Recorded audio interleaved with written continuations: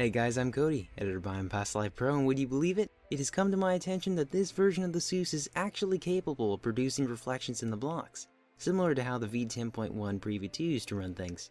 So, for this tutorial, I'm going to teach you how to get rain reflections working in the SEUS V10.2 Preview and Ultra. I know you're itching to start, so let's begin. To start things off, make sure you have the SEUS unzipped and ready to work with on the desktop. Double click the folder, double click the shaders folder, and locate gbuffers underscore terrain.fsh. Using Notepad++, open it up. From here, scroll down to line 333. Just by looking at this set of code, I bet you're wondering, what is it that I have to do? Well, just this, change the star sign to a plus sign.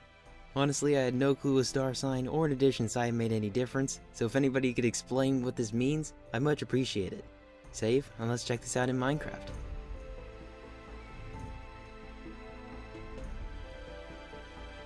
When you made it in-game, keeping in mind the fact that you didn't mess up that one important step, you'll find that rainy days do now have their glossy reflective look, so enjoy this. But before I go, I'd just like to thank Indie Minecraft for bringing to light this code change, of which I previously never knew existed.